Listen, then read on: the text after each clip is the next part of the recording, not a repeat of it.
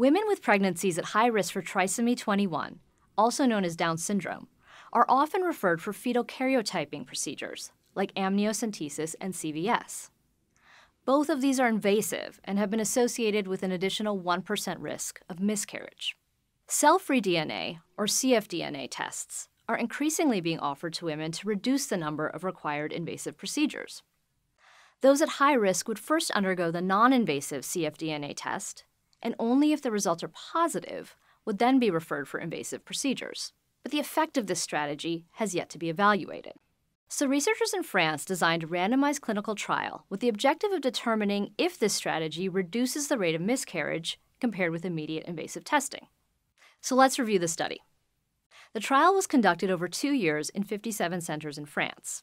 The participants included just over 2,100 women whose risk of trisomy 21 was estimated to be between 1 in 5 and 1 in 250 following combined first trimester screening.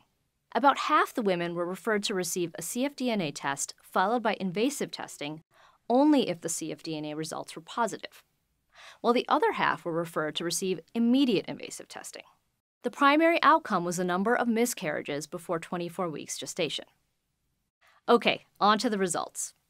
The miscarriage rate in both groups was 0.8%, for a risk difference of negative 0.03%. Not statistically significant. But the trial did turn up some interesting secondary outcomes. 11 chromosomal abnormalities other than trisomy 21 were found in the group that underwent immediate invasive procedures, some of these requiring dedicated follow up and management. That's 1.5% of pregnancies in that group, Given the randomized nature of the study, a similar incidence of abnormalities in the cfDNA group would be expected, but only one abnormality, or 0.1%, was detected. The main conclusion is that among women with pregnancies at high risk of trisomy 21, using cfDNA tests to stratify women for invasive testing did not result in a significant reduction in miscarriage rates before 24 weeks.